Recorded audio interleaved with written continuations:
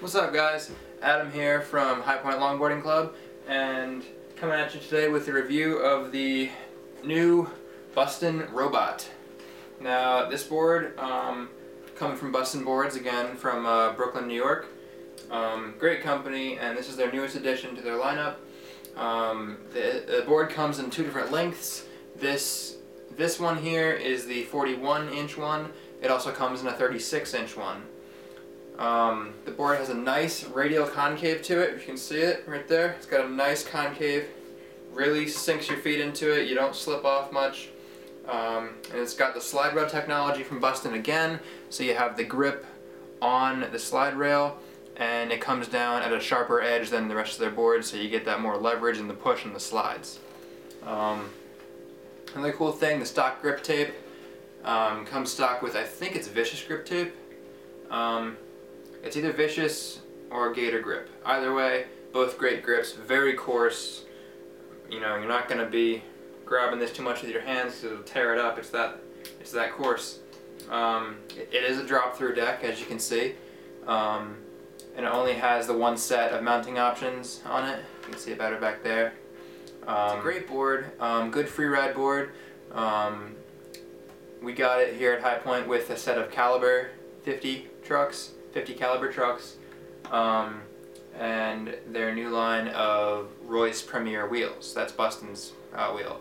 Um, we got the yellow ones, they're right over here actually on our Eibach for downhill now.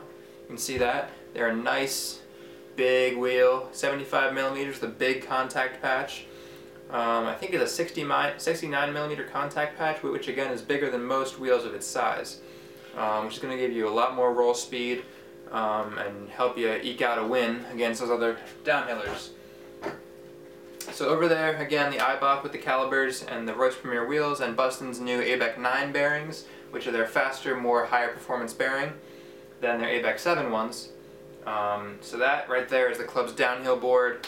Um, this one, kind of cruising and free riding. We're going to make this into a cruising and free riding machine. We're going to couple it with the Bear 852 longboard trucks and these Bustin Swifts we got on the Apex 37 here. We're going to take this off today, throw it up on the robot, and then turn this into a free riding machine. Um, one thing that I personally like about this board a lot is if you can see here, the board dips in a little bit right in the middle. It provides a nice little spot where you can carry the board. You're not going to tear up your hands because the grip tape does come down, like I said, on the edges. Um, so you're not going to tear up your hands carrying it there, and it, and it provides a nice spot to know to uh, know where your feet are while you're riding too. Because um, when you're moving your feet around, you can really feel that edge where there's not grip, and so you really know where your feet are on the board without having to look down too much. Um, it does have have a nose and a tail, and again, as you can see, it is symmetrical. Um, it's really kind of a do everything board in a sense, um, although it is made for mostly free ride and downhill. Um, you can manual on it. It's got nice leverage actually, um, surprisingly for how small the tail is once the trucks are on it. Um, but um, it's, it's really easy to manual. It's not as heavy as it looks. Um, it is a heavier board, but not nearly as heavy as it looks. Um, cool graphic on the bottom. This is the limited edition graphic for the Robot 41. Again, 41 uh, inches long, 10 inches wide, and a 31 inch wheelbase. Um, and yeah, Bustin Boards, one of a kind, built in New York, built in Brooklyn for the world, something like that. Either way, great board. Um, the one thing I will say about this board um, that's a little bit annoying is right on the edges here.